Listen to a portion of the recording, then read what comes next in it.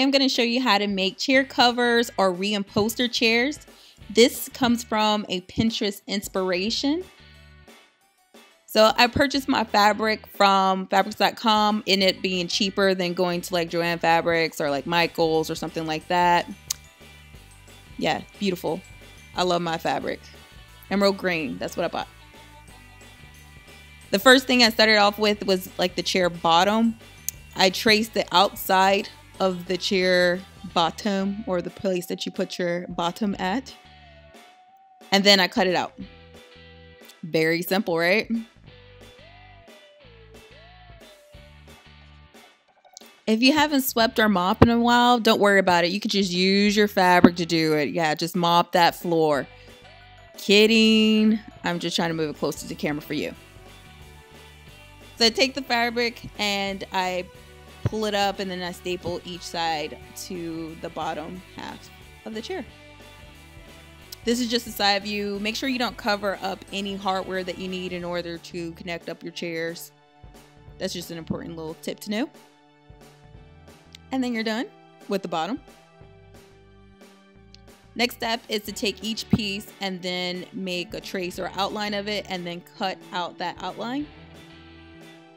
I'm gonna double up my fabric so I only had to make one cut so I have both sides cut out and then I just uh, cut the bottom half of the chair for the layover over the arm. This is just the chair, just showing you all the pieces. Then I put the chair together. Again, it was like the IKEA find. I didn't like the colors that came with IKEA, so that's the reason why I made my own chair cover. The last part I had to do was cut the um, back part or cut a piece of fabric to cover the back. I simply laid that over to the, the chair itself and then I pinned the sides to the actual chair using um, like fabric pins. Then I taped the sides to the back of the chair and to the top part. Did I say that right? Pin the chair fabric of the side to the back fabric. Pulling it tight, but not so tight that it causes like a crease or causes the fabric to pull. For ease, I use um, a sewing machine That so you want your chair cover to be snug, snug enough that it's a little difficult trying to put it back on the chair. Now what you see me doing is taking my side piece, you know, like a side piece, and pinning it to um, the sides of the chair. So I'm just showing you how everything's pinned together. Even the inside. Use your sewing machine sew all your seams up together and now you have a chair cover that's over. Now you have all this extra fabric.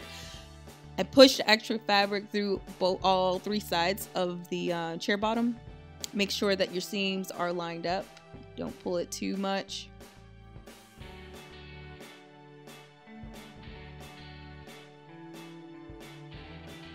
And then that's what I'm showing you there with my finger. Look, the lines are straight. Then I came back the next day, Mind you, I did three chairs, so I'm actually showing you three different chairs in this video. And I stapled the sides because I wanted them to have a snug fit. So I pulled down the side of the uh, bottom cushion and then I uh, stapled each side together.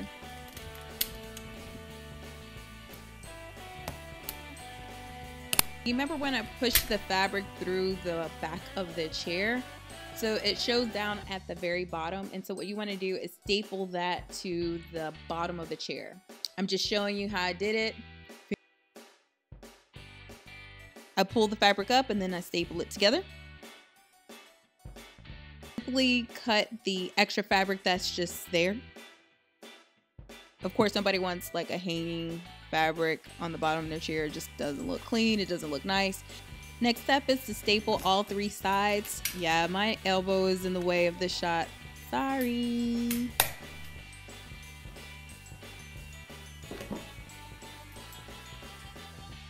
Now this is your final product. Some beautiful chairs custom made. Subscribe and hit that like button if you would like to see more Pinterest finds or fails? Yes.